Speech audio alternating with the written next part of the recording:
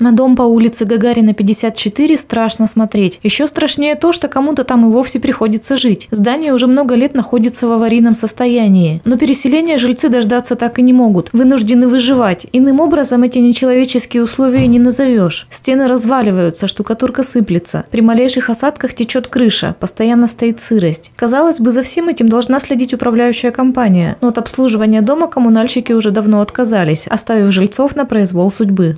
Ни косметический ремонт, ни по водоснабжению, ни по отоплению вообще ничего не, не производится. Все удобства у нас на улице. Вода на улице, в доме нет ни воды, ни сантехники, ни санузла, ни, ни туалета, ни ванны, ничего нет. При этом по коммунальным платежам жильцы платят регулярные немаленькие суммы. Только за что? Они так и не понимают. Да, мы платим ежемесячно. Вот э, наша семья платит, потому что прописано 5 человек. Мы платим 2 тысячи с лишним. Остальные платят тысяча, полторы, 1800.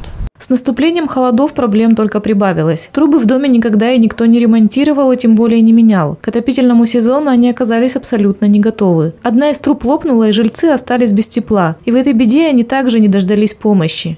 Куда бы мы ни обращались, ни одна компания, управляющая нами, не занимается, потому что дома идут под снос, у нас нет управляющей компании. Звонили в администрацию, администрация сказала, что они не могут нам помочь с этим вопросом.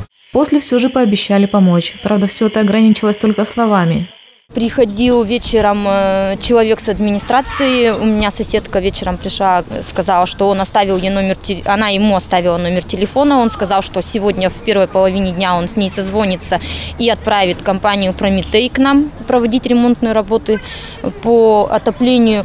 Но в итоге он ей не позвонил и не прислали нам ни Прометей, ни кого-либо другого.